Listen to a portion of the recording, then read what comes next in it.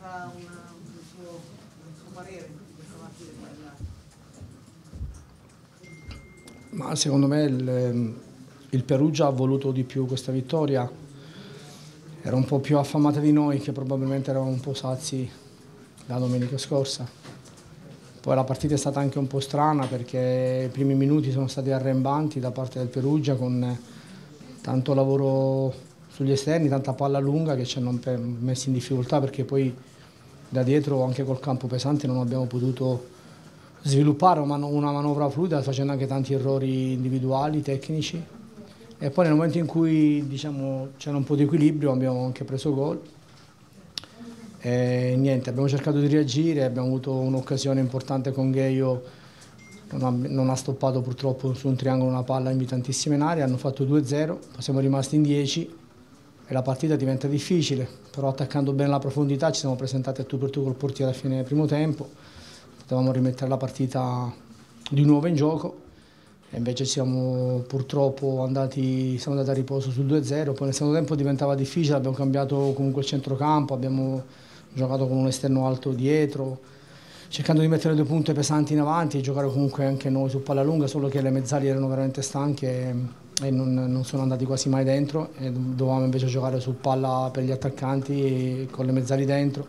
Abbiamo creato qualcosina, però abbiamo anche dato spazio al, al Perugia che si è reso pericoloso in, molte situazioni. Poi quando siamo rimasti in nove è normale che la partita diciamo, non ha avuto più storia però è stata buona la reazione che abbiamo avuto anche in 10 nel secondo tempo, abbiamo cercato sempre di giocare, di fare comunque la partita e quindi va bene così.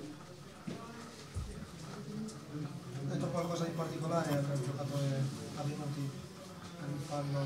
Ne vi dico la verità, ma Venuti non ha fatto un fallo cattivo se in un campo del genere noi pensiamo che questo sia un fallo di no, non, fate anche delle smorfie che non mi piacciono. Intanto se va fuori Venuti deve andare fuori il giocatore del Perugia, questo è matematico perché la reazione viene sempre punita più del fallo stesso. C'è stata una reazione scompostissima da parte del giocatore del Perugia e andava buttato fuori lui.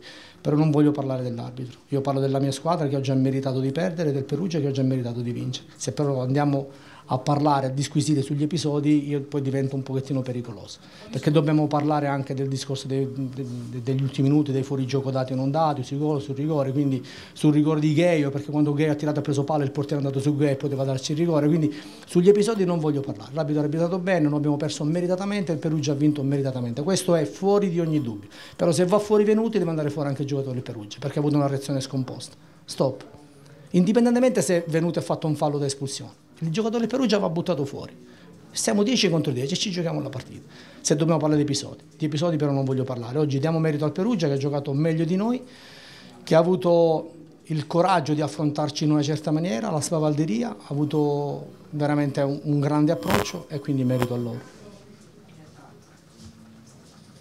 Stop. C'è stato uno scambio di battute tra la panchina vostra e De Magni, il gol? Sì, noi nove uomini fa un terzo gol sul rigore, indipendentemente se ce l'avesse col pubblico o meno. Lei che dice? Lei che dice?